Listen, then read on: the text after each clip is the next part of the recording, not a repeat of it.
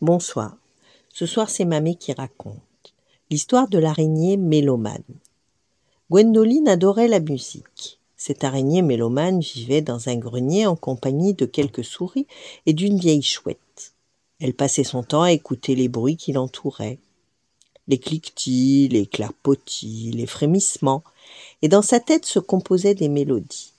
Une nuit, Gwendoline entendit un sanglot. D'où ça vient?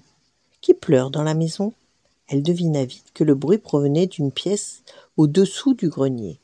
Elle emprunta alors l'un des tunnels creusés par les souris, et Gwendoline suivit le sanglot et entra prudemment dans une chambre. Oh la pauvre petite fille, se dit-elle, elle a fait un cauchemar et elle n'arrive pas à se rendormir. Que faire? Appeler ses parents?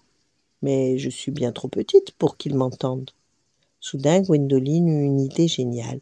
Elle déroula du fil de soie, elle s'activa, passa le fil à droite, à gauche, le repassa dans l'autre sens pour fabriquer un vrai violoncelle. Puis elle se mit à jouer une musique douce et rassurante. Petit à petit, la fillette ferma les yeux et se rendormit.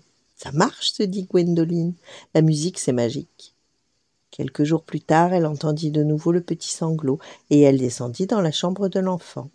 Cette fois-ci, elle fabriqua une contrebasse, joua une musique plus grave. Émerveillée, la fillette finit par s'endormir. Et lorsqu'une semaine plus tard, Gwendoline retourna rassurer la petite fille, elle avait déjà une mélodie en tête. Elle joua de la harpe avec ses huit pattes en même temps. Elle effleura les cordes avec une rapidité incroyable. Quelle virtuose Et c'est ainsi que Gwendoline fit découvrir la magie de la musique à la petite fille. Mais le temps passé, la petite fille n'a plus besoin d'être rassurée. L'araignée ne descend plus de son grenier et ses concerts nocturnes lui manquent un peu. Mais tu entends cette douce mélodie? C'est la petite fille qui apprend à jouer de la Voilà. Bonne nuit, faites de beaux rêves et à demain.